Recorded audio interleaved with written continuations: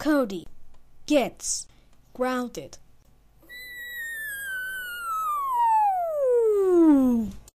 I'm going to paint his house.